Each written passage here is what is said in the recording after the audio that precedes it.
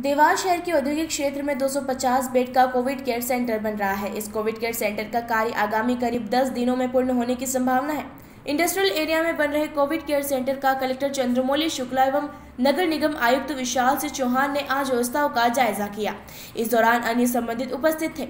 निरीक्षण के दौरान कलेक्टर शुक्ला के निर्देश दिए कि कोविड केयर सेंटर के कार्य में और गति लाए, कि आगामी में 10 दिन में ये तैयार हो जाए। कलेक्टर शुक्ला ने बताया कि वर्तमान में कोविड के बढ़ते केसेस को देखते हुए जिला प्रशासन पूरी तरह से सतर्क होकर कार्य कर रहा है।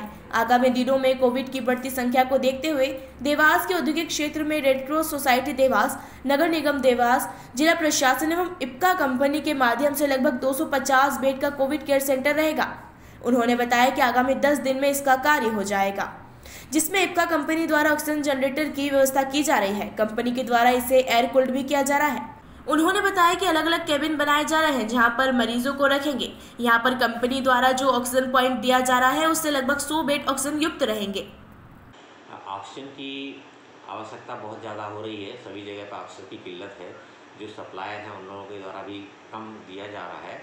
तो शासन ने निर्णय लिया है कि क्यों हम इस तरह की व्यवस्था परमानेंट की जाए, जो एक ऑक्सीजन प्लांट लगाए जाएँ, और उसी में देवास ज़िले को भी एक ऑक्सीजन प्लांट स्वीकृत हुआ है, जिस पर कि पीआईए यूनिट उसकी एजेंसी है जो उसको बना रही है। और हमने उनको टाइम लिमिट दिया है कि सात से दस दिन के अंदर जो है ना उस चीज़ को कंप्लीट करें। मेरा प्रयास है उस टाइम लिमिट में वो कार्य पूरा हो जाए जिससे कि जो ऑक्सीजन की हमारी रिक्वायरमेंट है वो फुलफिल हो सके।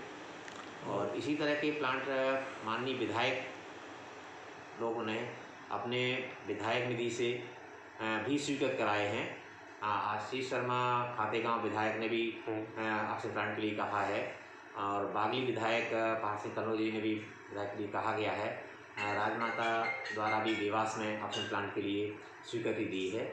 और इस तरह से चार जगह ये प्लांट्स हमारे लग जाएँगे।